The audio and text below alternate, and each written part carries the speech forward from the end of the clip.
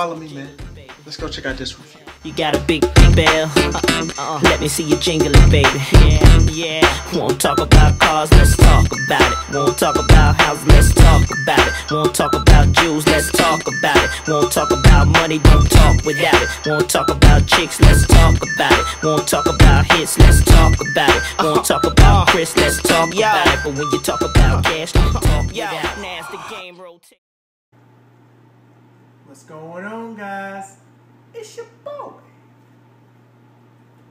Camel Me. Got a review for y'all today, guys. Recently, I needed a piece of gear for a four-day backpacking trip that I was going to have in northern Arizona, uh, on the Arizona Trail, specifically uh, Happy Jack section. And I didn't have a bear bag. I didn't really want to spend the time to go buy a bear bag mostly because it would take time for it to get here, and if I wanted to get here quicker, I'd have to do special shipping, yada yada yada. So I had some camouflage material that I bought, and I thought, what would be better if we had a custom bear bag for your boy Camomeleon? So I looked to my good friend, Old and Tatted.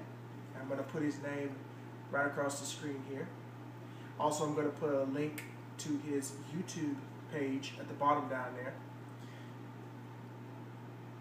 to see what he can come up with a design for a bear bag for me for my system that I was going to create. And basically, he took it and he made a Camomeleon style bear bag.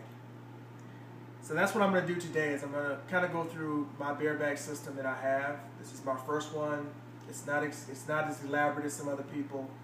Um, and it's, it's it is what it is. It's what works for me for right now. It may change later. The method that I use right now for what I've seen so far is the PCT method. I think it works for me. I think it's the easiest one to do so far. So you're going to go through my kit. I'm going to show you the custom bag, and we're going to uh, have a little review today, man. Camel style. See y'all in. Alright guys, so this is basically my bear bag kit system that I created. It's very simple, very straightforward. It uh, is not what a lot of people may use. Other people may use uh, different ones, a little more sophisticated, but I'm just trying to hang a bag at least 10 feet above, 4 feet away from the tree so the critters can't get to it. So let's go through a little bit of what I got here one by one to kind of show you guys what's going on. First thing I have here is a climbing carabiner. Uh, this one specifically is a black diamond one. I've had this for many years. Used it uh, mostly on the back of my backpacking uh, backpack here. And it's one of the ones that has the screw latch on it here. Uh, you can use the the other ones that are just the the movable ones that just kind of press in. Doesn't matter as long as it's a it's a good climbing one because it depends on what you're carrying. You're hanging in the in the in the bag. You can hang your entire backpack if you like. I've seen folks do that. But if you're just going to hang your food, you want to make sure that the carabiner that you're using to do it is going to be a little strong. So that's my carabiner I'm using actually for the hang there. Secondly is my rope. As you noticed that this color, let's take it out of the bag here. This right now is about 100 feet of digital multicam paracord. I absolutely love paracord, and if you don't know anything about your boy Camomeleon, you obviously should know that he loves camouflage. Normally, what I would carry, uh, from the videos I've seen, folks are carrying about 50 feet of cordage for their hang. I usually like to go a little bit more just in case because chances are pretty high I won't have any rope to attach to the end. In case I have that one tree that has a limb that's that's only available that's a little higher than the rope that I have. So I usually would take about 75 feet, 50 to 75 feet of this rope with me. It's very possible I may take the whole 100 feet. It is paracord. It, it doesn't give me that much more weight than I already have. So it really it's not going to hurt me. Next, we're going to have the actual OPSAK bag. Now, this is the larger OPSAK bag that they have here. This is the uh, 12 and a half by 20 inch OPSAK bag. This is a, a odor-proof, scent-proof bag, and basically you put everything in here that you normally don't want critters to smell. So deodorant, uh, food, anything with a scent, uh, trash that you would normally put in this. Obviously, you would separate it from the food and different bags and other stuff in here, but this main bag that everything goes in right here. It's a very strong bag, um, and this is what's going to be used inside of my actual bear bag here. This is my camouflage bear bag, custom made by my boy, Old and Tatted. As a matter of fact, I call this the ONT Camo Bear Bag.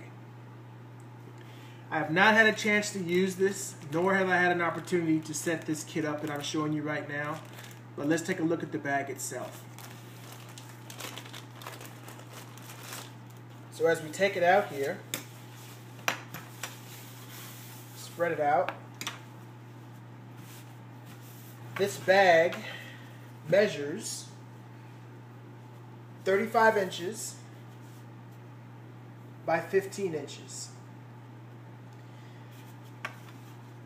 Way bigger than my scent bag that I'm going to have inside of this guy. As a matter of fact, when I lay this over this guy, you can see that the bag is well larger than the actual bag itself. Alright guys, so let's take a look at a couple of the features of the bag and how it's actually made. So the material that you see here is 100% camouflage silnylon. Uh, my favorite material and my favorite color, if you don't already know. So let's take a look at the end, the open end here. And let's see how he's got this thing made. So on each end, he has buckle you can see here, sewed in. And he has actually gone in and done some very good triple stitching in here. This thing, he's making sure that this does not come off of here. I have to say, my boy Olin Tatted is a great guy behind the sewing machine. I mean, the stuff that he can do with a sewing machine, a needle, and some thread, it's absolutely amazing. But this is about an inch and a half buckle strap here. And it's good buckle, good strap and that's on there very well. See if I can show you guys the stitching there. Very nice job he's done on both sides there. And this is also the same thing that's on the other side. It's just the mating end of that buckle. See the stitching there. He's not a professional sewing uh, seamstress, but he is damn close, I'd have to say that. Now the other thing too he noticed, and he told me about this, is that, okay, so the way this works, if you don't already know how this is going to work, guys. So, like any other bear bag, you're going to take it, you're going to put your food inside of this guy, and then from the top, you're going to start rolling this down, right?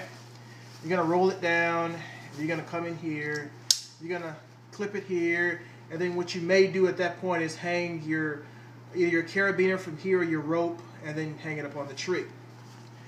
Well, because this is silnylon, and because of the kind of flimsy nature of the material, it's very, you know, it moves around a lot. It's easily bendable. He noticed that when he starts to crimp, uh, starts to roll it down, this center part will just kind of bind up, and it's kind of irritating.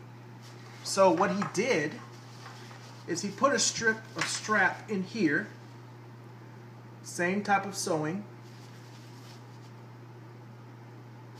And he did it on both sides. So now what happens when you start to roll this down, you don't get that crumple effect in the middle anymore. It just kind of rolls down as one piece like it's supposed to. So I really thank him for that because that would have definitely irritated me at some point. And then you don't get the right roll and it's just, it's kind of irritating. Okay? So when you roll that guy down, you clip it, you're good to go. So let's take a look at the other features of the bag. So he's got a stitch down the side here. And if we look inside where he actually has the sew at, he's done what I believe that's a triple stitch there. He's stitched it three times across there. Let me see if I can show that to you guys. That's all the way down from the top to the bottom of the bag. Very nice job. Very nice job of stitching it on the inside. And it makes it a seamless connection on the outside there. So we come down to the bottom. And you're to see something different. Like I said, I don't have many bear bags. Haven't seen many bear bags. So this could be a normal thing that you guys have seen. If not, then I'm glad I can show you something different. On the bottom of the bag, you put a loop. Okay? Just a strap, the loop at the bottom. And the way he explained this to me is that what's going to happen is I'm going to take this and I'm going to put my scent bag in this guy and then I'm going to take this guy and I'm going to roll him down to the top of that scent bag because you don't want to actually roll the scent bag. Then you're going to take the bottom of your bag, put your loop or your carabiner through here, and hang your bear bag from this end.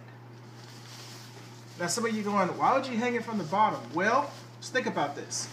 So if you hang it from the bottom, there's no opportunity for anything to leak into the bag.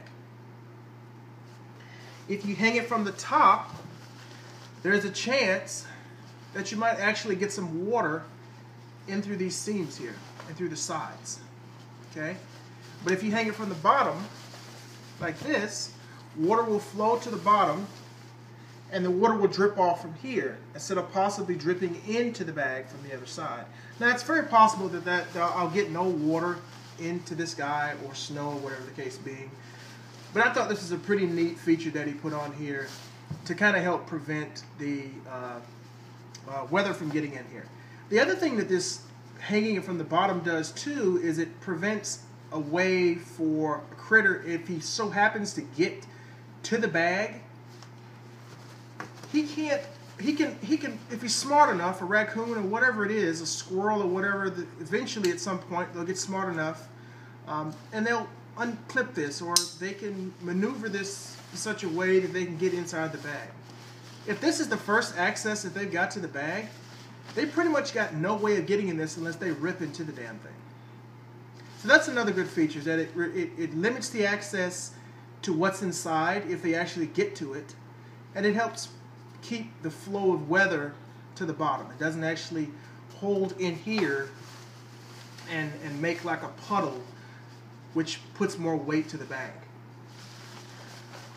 I really, really, really, really like this bag, mostly because it is made of my two favorite things, camouflage and silnylon. I really appreciate what Old and Tatted has done here I really like it. I haven't had an opportunity to use it yet. On my next backpacking trip, which I'm really not sure it's going to be, because it's starting to get a little hot here in Arizona, both the central and southern, and after a month or so, it's going to get too hot to go north. When I get an opportunity to actually use this thing, I'm going to post it, and I'm going to show you guys what it looks like. All right, guys.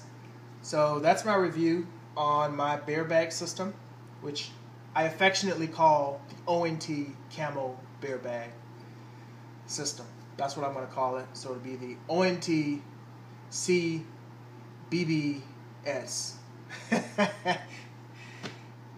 it is definitely something I'm looking forward to use in northern Arizona where there are trees. I can't really see where I would be able to use this in the desert, although you never know. I seem to get a bit creative when I'm in the uh, desert, especially when I'm hanging around my boy ONT. The creativity flows when we go out camping. So shout out again to my boy Old and Tatted. Uh, again, his his webs his uh, YouTube page across the screen here right now. I'm going to put his information to his YouTube page in the description below. Y'all guys go check him out. Y'all sub him. Y'all comment, watch his videos, like his stuff. Just get a dialogue going with the guy. He's really nice. Uh, like he has said many times before, neither I or him are not as scary as we look. so Don't let the look frighten you guys. Great guy, very knowledgeable, and one of my best buds, man, when it comes to the trails, man. Uh, so that's it, guys. I appreciate y'all guys uh, coming along for the Camo review. And uh, we'll catch y'all guys the next time. Until then, when you see me on the trail, don't yell. Don't bail. It's just your boy. Camel Man. we'll catch y'all on the next review, won't talk about cars, let's talk about it. Won't talk about houses, let's talk about it. Won't talk about Jews, let's talk about it. Won't talk about money, don't talk without it. Won't talk about chicks, let's talk about it. Won't talk about hits, let's talk about it. Won't talk about Chris, let's talk about it. But when you talk about cash, don't talk without it. Now as the game rotates and my chrome gets bigger, more girls wanna What y'all still doing? The review is over. when I come Go home, man. Down. They can tell a true player by the clothes that I wear. Uh-huh. Game that I spit.